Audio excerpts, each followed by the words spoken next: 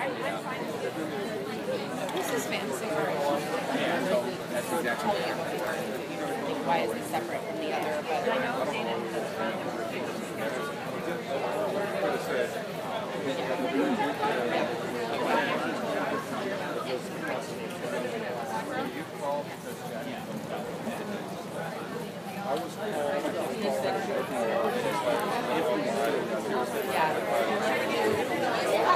Do you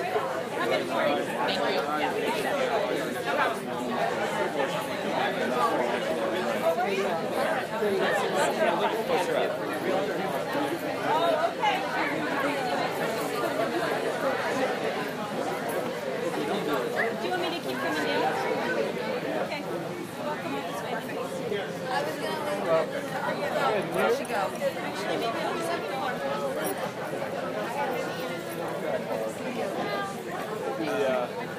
Is there anybody that you want to say with you?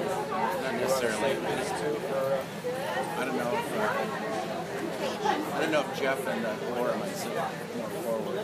oh, maybe. Well, I can get up. Are you gonna sit farther forward? I, I'll just find you.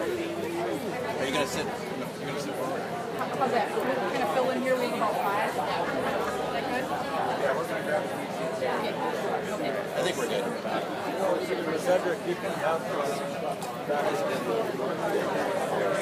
He's gonna stand. Good morning. Welcome. My name is Melanie Ross. I'm Chief Communications Officer of UF Health. It's my pleasure to welcome you here on this beautiful spring day. Spring marks a time of new beginnings. We're so glad you could join us as we celebrate our latest new beginning in the story of UF Health. I'd like to take a moment to acknowledge our elected officials in attendance today. Commissioner Ken Cornell, Chair of the Alachua County Board of Commissioners. We'll hear from Ken a little bit later in the program. Gainesville City Commissioner Harvey Budd. And Gainesville City Commissioner Helen Warren. We appreciate all of you joining us here this morning for this special occasion. And now it's my pleasure to introduce Dr. David Guzick, Senior Vice President for Health Affairs at UF and President of UF Health.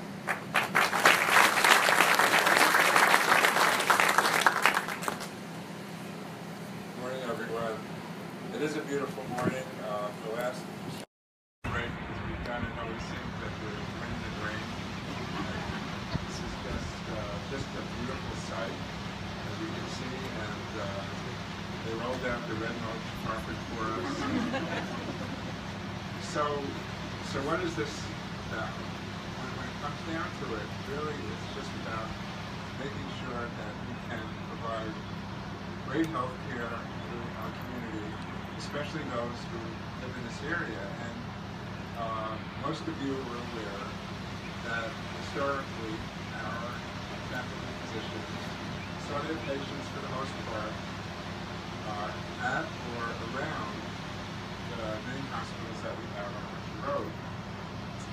But back uh, under a strategic plan that began in 2010, we made a commitment to locating physician offices throughout the community we serve.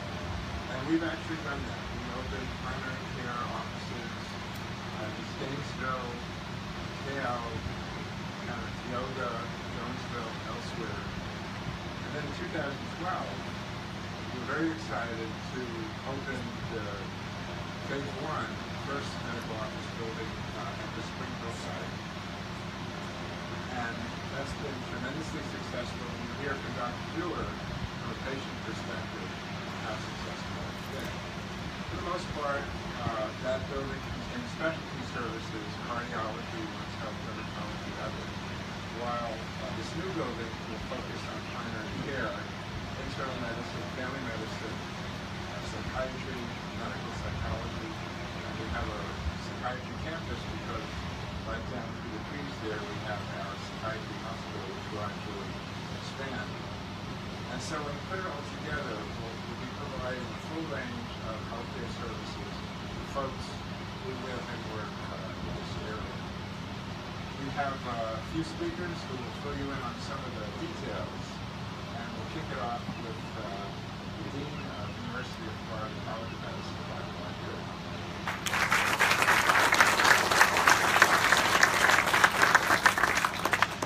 Thank you, David. Thank you all for being here. Um, today we celebrate uh, the beginning of the construction of this second medical office building on this campus, as Dr. Guzick mentioned, and we're so pleased to add to the care that's already being provided in the first building on this campus. Um, I'd like to really focus and thank our faculty that are here. Um, facilities are very important, um, the organization and the flow. But if you really think about what today is all about, it's when our faculty member meets with a patient, they go into the exam room and they close the door, and they take care of the patient's health. They may be there for a routine checkup, trying to stay healthy. May be there with a very specific uh, problem or issue in their life. That's what great healthcare is all about, and I can't say enough about our faculty. And so I'd like to just uh, acknowledge the key chairmen, the chairs of the departments uh, that are uh, responsible for the faculty who will be in this new medical office building too. So I'd like uh, Dr. Robert Hromas, Chair of Medicine, to please stand up. Dr. Peter Carek, out of town for family medicine. Dr. Regina Bussing, who's our Chair of Psychiatry. And Dr. Tim Morey, who's our Chair of Anesthesiology and Pain Management. First, a round of applause for our leadership.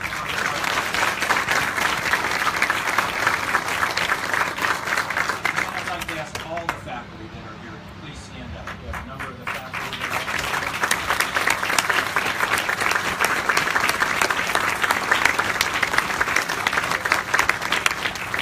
Thank you all for the great work you al- already do, and for the work you and your teams will provide uh, in this new facility. It's now my pleasure to introduce the CEO of UF Health Shands, Mr. Ed Jimenez. Ed?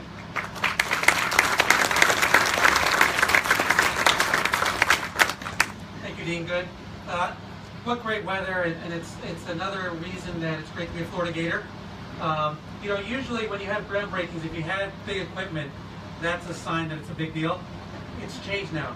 If you see a drone and the CPTI guys are flying drones, that means it's a big deal. Um, I appreciate all of you being here today. As you heard from our speakers so far, um, this is part of an organized thought process, an organized thought process that keeps true to our not-for-profit mission, which is meeting the needs of our community in a way that makes sense to them. That we're not building facilities just because people will come, that we're not building facilities because there's some sort of motive that doesn't make sense. We know that patients who live west of town, northwest of town, needed an area, and that's how we started with the first Spring Hill building. That's the emergency room, so it all makes sense based on what our patients and their families need. We also know that we also that we have a, a corporate responsibility. As a major employer in this town, we have a role in helping with economic development. And so as we think about the facilities that we need to devise and build, we also need to think about what role we play in our community. And so having a facility in this part of town, having jobs, having access is important to that as well. And so this 72,000 square foot building, which is a big facility, will have three floors. We will build a parking deck next to it to accommodate all the parking. It's certainly been designed to meet the needs of our faculty and our nurses and our staff. It's also been designed to ensure that the feelings of our patients and their families are met. And so the feelings of wide open space and warmth and community are going to be vibrant and palpa- palpating inside of you as you walk in there. We're trying to develop a one-stop shopping experience. So you will have in this building a pharmacy, you will have a lab in addition to your primary care offices. Give the patients a chance to get what they need in one stay. As we think about this $36 million project, it's important that we also think about being environmentally conscious. And so when you talk to Brad Pollitt, who's the head of our facilities, he will describe to you in excruciating detail the great lengths we go to for our social responsibility. And so it is a LEED building, it is eco-friendly, it is green as green can be. Um, it is important that we retain those important elements that's made Gainesville different. I do have to thank the teams, and I started with Brad, but Brad, please raise your hand, Brad Pollitt, the Vice President of.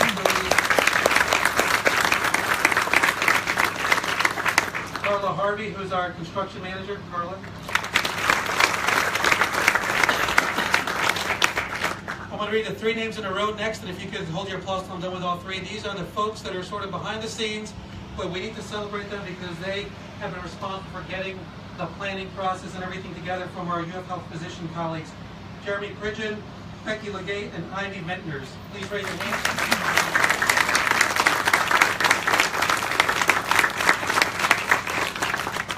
And it does take a village to get to this point, and I have to thank Flad Associates, affiliated engineers, Dassault Hewitt and Walpole, and Charles Perry Partners.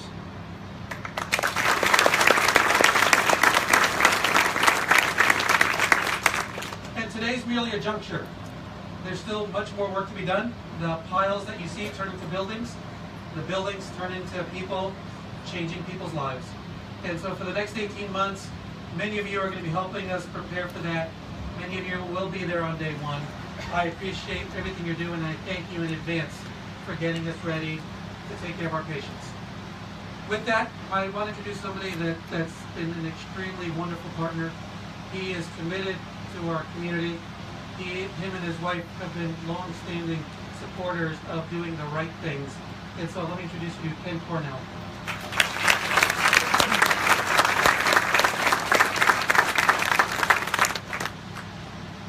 Evening, what a pleasure. So on behalf of the Alachua County Commissioners, individually and collectively, Hutch Hutchinson, Mike Byerly, Chuck Chestnut, um, Lee Pinkoson, uh, I bring greetings on behalf of all your elected officials, including our city commissioners, uh, Mayor Pro Tem Budd and, and former Mayor Pro Tem uh, Warren. You know, in, in Alachua County, now more than ever, we know that government closest to the people is the most effective. And what an example we stand here today when we think about healthcare. Now, Alachua County is committed to supporting uh, U.S. mission of bringing community-wide health to the community. And when you think about what they are doing with the strategic plan that Dr. Joseph mentioned, bringing it closest to the people is really a key. Uh, and so for that, uh, I'm here on behalf of the elected officials uh, to basically say thank you. Uh, in Alachua County, we also know that one in five individuals that live in Alachua County and the surrounding counties are employed by UF and UF Health.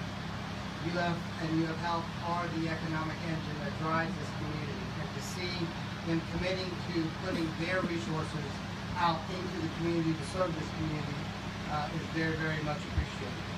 And so with that, um, Dr. Guzick, Dr. Good, uh, Ed, uh, thank you for your work.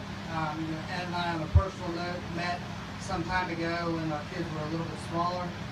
And I remember him saying when he came to this community, tell me about this community. I'm born and raised here. That's easy for me to do. I see some familiar faces out in the audience. And I said, I'll tell you what, Ed, there's a lot of really, really smart people in a real, real small area. And uh, give us a chance and raise your family. For that, uh, I appreciate the fact that you gave us a chance, you're raising your family, and the work that you all are doing are touching so many of our family. Um, and so thank you for that. So with that, I would like to now introduce the CEO of UF Health Physicians, uh, a great community member in Alachua County, Dr. Moore.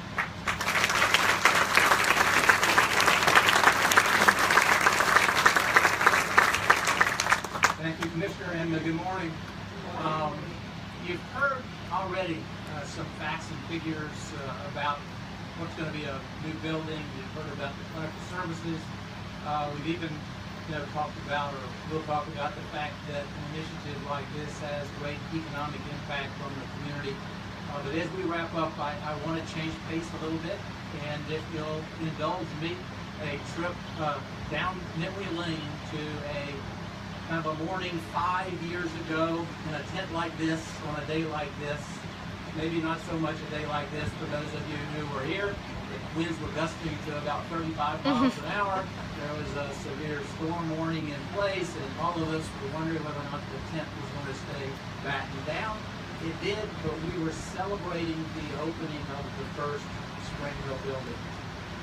And I remember from comments on that day, some talk about a, a young woman uh, who was trying to get health care for her mother. She was doing it in a complex, congested academic health center environment, and it's sometimes confusing. And her ask of us was pretty straightforward. Her ask of us was to create some place that was accessible, that parking was convenient, that once she entered the building, it was pretty easy to find out where her doctor's office was, and that wasn't what she was always experiencing uh, up until that time. And so we created Spring Hill One uh, with that in mind to try to meet that uh, demand. And I think that it is really fair now, five years later, to ask the question, you know, how do we do? And by the numbers, I think we did pretty well. Uh, over the last five years, uh, over 700,000 people uh, have received care in Spring Hill 1. And that building is now full and it's, it's at capacity. But the numbers don't tell the whole story. Uh, you, you too, as patients, should tell us you appreciate the caring environment that goes on inside that building.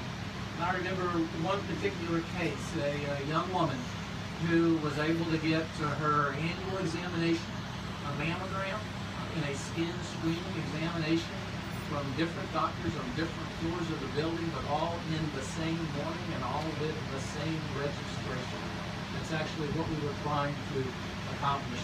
And so then that becomes what today is all about. This groundbreaking is about extending that hospitality and that service to a whole new set of clinical lines so that we can meet the needs of many patients. And if we're successful, and I have no doubt that we will be, uh, just maybe about five years from now, and we'll be standing somewhere and we'll be saying that over the last five years, uh, a million people have received services at these combined facilities. We'll be saying that both facilities are now full and they're at capacity. And we'll be doing that in a tent, and I hope it's a tent with today's weather rather than the weather from five years ago. But we'll be doing it from a tent back in the corner of that parking lot behind you when we're announcing yet the next building on this campus to further meet your needs. So we thank you for joining us today for what for us is an exciting time, but it's an exciting time because it allows us to serve you better.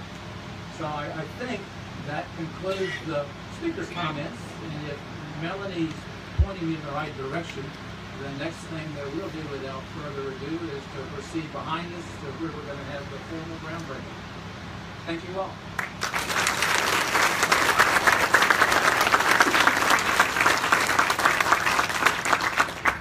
If our speakers and unit leaders could please um, make their way to the ceremonial shovels and we'll have a groundbreaking ceremony.